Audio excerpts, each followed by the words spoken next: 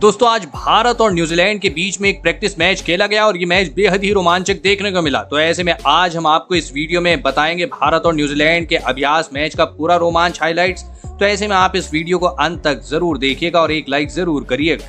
जैसे कि आप और हम सभी जानते हैं कि पाँच अक्टूबर से वर्ल्ड कप का आगाज़ होने वाला है और इस समय सभी टीमें एक दूसरे के साथ वार्म अप मैच खेल रही हैं। वहीं आज भारत और न्यूजीलैंड के बीच में प्रैक्टिस मैच खेला गया। आपको बता दें कि इस मैच की शुरुआत भारत ने टॉस जीतने के साथ की।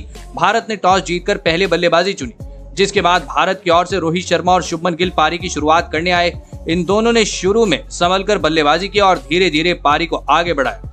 छह ओवर के बाद दोनों ने अपने गियर बदले और ताबड़तोड़ बल्लेबाजी करते हुए भारत को 10 ओवर में उनहत्तर रन तक पहुँचा दिया, जिसके बाद भी ये दोनों नहीं रुके और ताबड़तोड़ बल्लेबाजी करनी जारी रखी।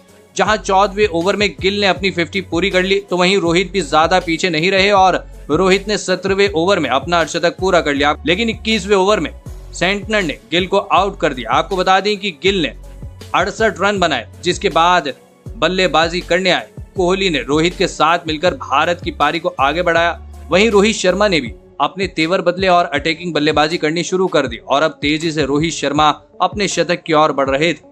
तो वहीं दूसरे छोर पर खड़े कोहली भी सिंगल डबल से पारी को आगे बढ़ा रहे थे, जिसके बाद उनतीसवें ओवर में इन दोनों ने भारत के लिए अर्धशतकीय साझेदारी भी पूरी कर ली। तो वहीं तैतीसवें ओवर में कोहली ने इकतालीस गेंदों पर अपनी 50 पूरी कर ली, जिसके बाद में रोहित शर्मा ने भी बत्तीसवें ओवर में अपना शतक पूरा कर लिया और इसी के साथ में भारत का स्कोर 200 रनों के पार पहुँच गया। लेकिन उसके बाद रोहित शर्मा ज़्यादा देर तक नहीं टिक पाए और 111 रन पर आउट हो गए, जिसके बाद में बल्लेबाजी करने आए अय्यर भी सिर्फ़ पाँच रन ही बना सके, जहाँ अय्यर और रोहित दोनों को बोल्ट ने आउट किया।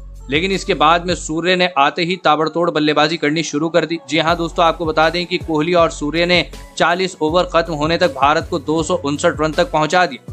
हालाँकि उसके बाद ज़रूर कोहली तिरासी रन पर आउट हो गए लेकिन उसके बाद लास्ट में हार्दिक पांड्या और सूर्य कुमार ने अटैक करके खेला। जी हाँ और भारत के लिए इन दोनों ने उनतालीस गेंदों पर सतासी रन की साझेदारी बनाई। आपको बता दें कि सूर्य चौरासी रन बनाकर नाबाद रहे तो वहीं हार्दिक ने भी उनतालीस रन बनाए और इस तरह से भारत ने 50 ओवर में तीन सौ सड़सठ रन बनाए। वहीं न्यूजीलैंड के लिए बोल्ट ने तीन विकेट लिए, जिसके बाद में न्यूजीलैंड की टीम इस लक्ष्य का पीछा करने मैदान पर आई। न्यूजीलैंड के लिए रचिन, रविंद्र और डिवॉन कॉनवे पारी की शुरुआत करने आए, जहाँ इन दोनों ने शुरू में संभल कर बल्लेबाजी की और धीरे धीरे पारी को आगे बढ़ाया, लेकिन सातवें ओवर में सिराज ने रविंद्र को आउट कर दिया। जहाँ आपको बता दें कि रविंद्र ने 17 रन बनाए और उसके बाद में बल्लेबाजी करने आए केन विलियमसन, जिसके बाद विलियमसन और कॉनवे ने मिलकर न्यूजीलैंड की पारी को आगे बढ़ाया खास तौर पर कॉनवे अटैक करके खेल रहे थे। तो वहीं दूसरी ओर से विलियमसन सिंगल डबल से पारी को आगे बढ़ा रहे थे।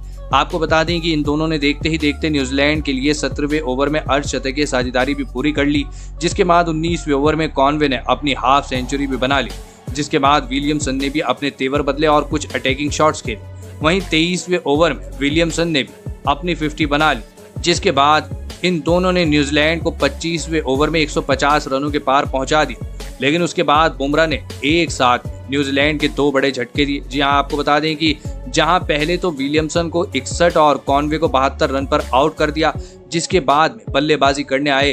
डेरियल मिशिल भी ज़्यादा कुछ नहीं कर सके और वो भी पाँच रन बनाकर कुलदीप यादव का शिकार बन गए।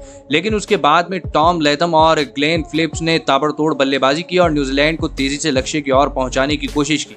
और अब अंतिम दस ओवर में न्यूजीलैंड को जीतने के लिए 148 रनों की ज़रूरत थी। हालाँकि अंतिम के कुछ ओवर में ज़रूर फिलिप्स और लेथम ने अटैकिंग बल्लेबाजी की, लेकिन उन्होंने न्यूजीलैंड के लिए 45 गेंदों में 80 रनों की साझेदारी भी बनाई। लेकिन वो न्यूजीलैंड को जीत नहीं दिला सके और भारत ने इस तरह से ये मैच बासठ रन से जीत लिया। आपको बता दें कि न्यूजीलैंड के लिए फिलिप्स ने इकतालीस और लेथम ने अड़तीस रन बनाए। वहीं भारत के लिए बुमराह ने चार विकेट लिए। तो आपको क्या लगता है, भारत इस बार वर्ल्ड कप जीत पाएगी या नहीं? कमेंट करके ज़रूर बताइएगा।